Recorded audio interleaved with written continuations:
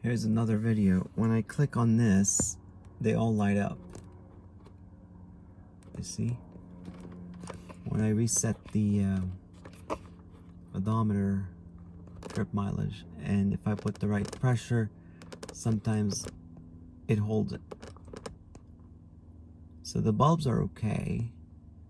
And I think, I'm almost thinking that the soldering is okay cold soldering and it could be that the LCD itself is not making perfect contact. So oh there it is. So I'm letting go now. It stays that way for a little bit and again and you see it just it just goes in and out. There you go. So I drive for a little bit. Again it's intermittent